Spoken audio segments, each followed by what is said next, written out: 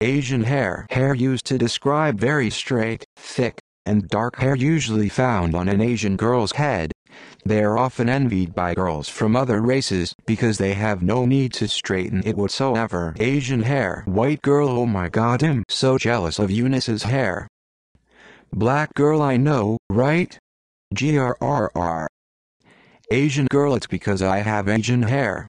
Jealous much Asian hair. A S I A N H A I R. Asian hair.